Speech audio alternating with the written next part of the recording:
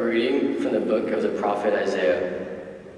Thus says the Lord, All you who are thirsty, come to the water. You who have no money, come, receive grain and eat. Come, without paying and without cost. Drink wine and milk. Why spend your money for what is not bread, your wages for what fails to satisfy? Heed me, and you shall eat well.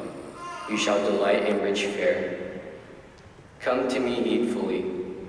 Listen, that you may have life. I will renew with you the everlasting covenant, the benefits assured to David. As I made him a witness to the peoples, a leader and commander of nations, so shall you summon a nation you knew not, and nations that knew you not shall run to you. Because of the Lord your God, the Holy One of Israel, who has glorified you. Seek the Lord while he may be found. Call him while he is near. Let the scoundrel forsake his way, and the wicked man his thoughts. Let him turn to the Lord for mercy, to our God, who is generous, generous and forgiving. For my thoughts are not your thoughts, nor are your ways my ways, says the Lord. As high as the heavens are above the earth, so high are my ways above your ways, and my thoughts above your thoughts. For just as from the heavens the rain and snow come down and do not return there, till they have watered the earth, making it fertile and fruitful, giving seed to the one who sows and bread to the one who eats.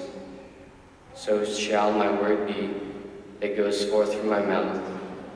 My word shall not return to me void, but shall do my will, achieving the end for which I sent it. The word of the Lord.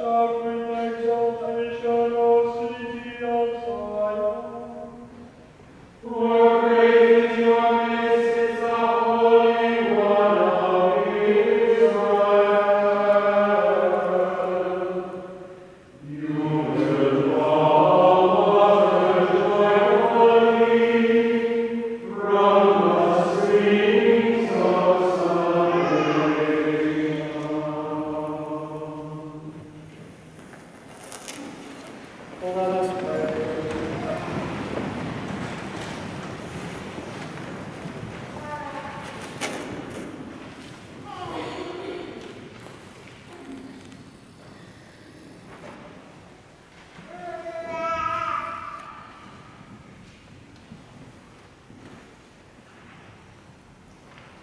Almighty and living God, sole hope of the world, who by the preaching of your prophets unveiled the mysteries of this present age, graciously increase the longing of your people, for only at the prompting of your grace do the faithful progress in any kind of virtue, through Christ our Lord.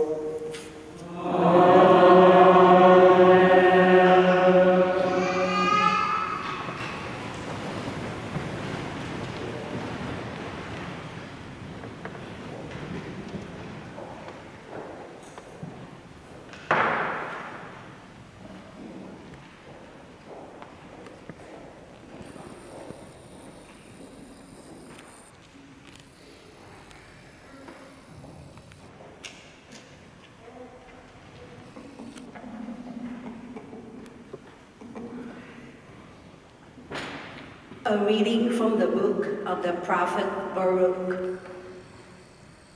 Hear, O Israel, the commandments of life.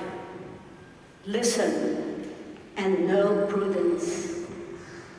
How is it, Israel, that you are in the land of your foes, grown old in a foreign land, defiled with the dead? accounted with those destined for the netherworld. You have forsaken the fountain of wisdom. Had you walked in the way of God, you would have dwelt in enduring peace. Learn where prudence is, where strength, where understanding, that you may know also where are length of days and life, were the light of the eyes and peace. Who has found the place of wisdom? Who has entered into her treasuries? The one who knows all things knows her. He has probed her by his knowledge. The one who established the earth for all times and filled it with four-footed beasts. He who disuses the light, and it departs, calls it, and it obeys him trembling. Before whom the stars at their posts shine and rejoice. When he calls them, they answer, Here we are, shining with joy for their Maker. Such is our God. No other is to be compared to him. He has traced out the whole way of understanding and has given her to Jacob, his servant, to Israel, his beloved son. Since then she has appeared on earth and moved among people.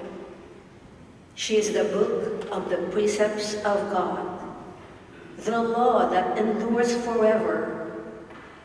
All who cling to her will live, but those will die who forsake her. Turn, O Jacob, and receive her. Walk by her light towards splendor. Give not your glory to another, your privileges to an alien race. Blessed are we, O Israel, for what pleases God is known to us. The word of the Lord.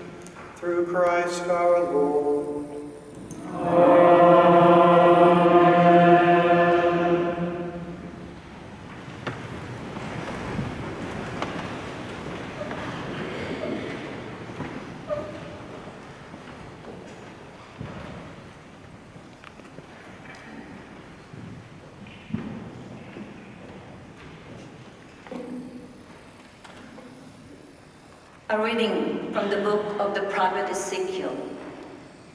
The word of the Lord came to me, saying, Son of man, when the house of Israel live in their land, they defile it by their conduct and deeds. Therefore, I poured out my fury upon them, because of the blood that they pour out on the ground, and because they defile it with idols. I scattered them among the nations, dispersing them over foreign lands. According to their conduct and deeds, I judged them.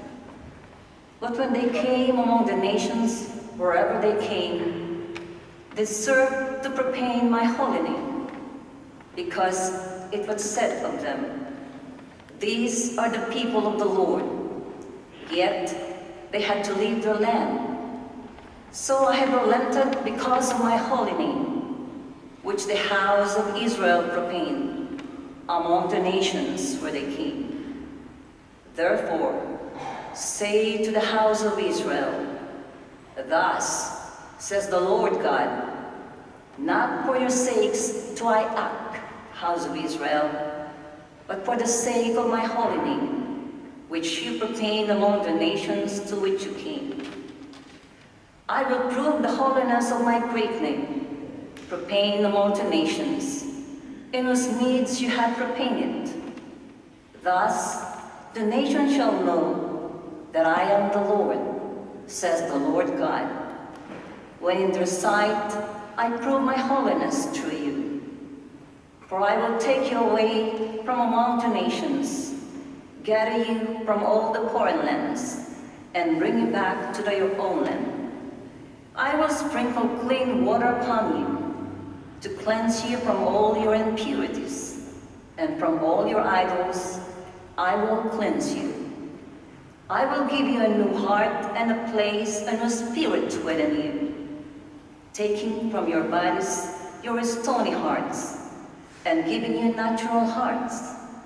I will put my spirit within you and make you live by my statutes careful to observe my decrees. You shall live in the land I gave your fathers. You shall be my people, and I will be your God. The word of the Lord.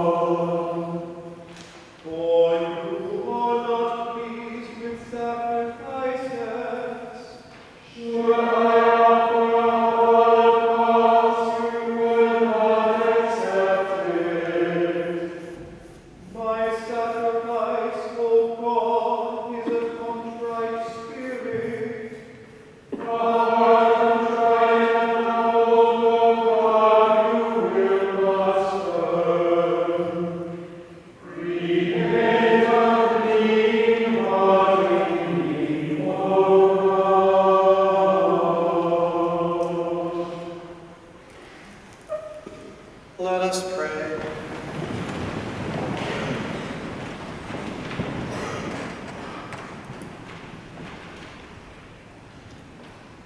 O God, who are the pages of both Testaments, instruct and prepare us to celebrate the Paschal mystery. Grant that we may comprehend your mercy, so that the gifts we receive from you this night may confirm our hope of the gifts to come through Christ our Lord.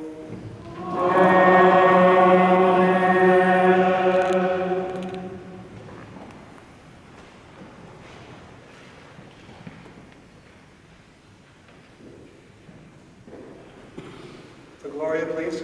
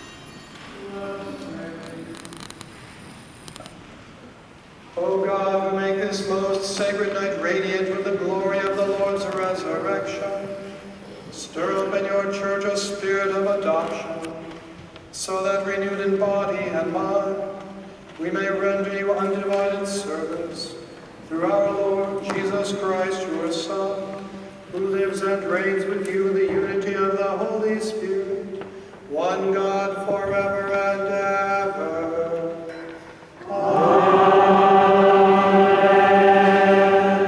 Please be seated.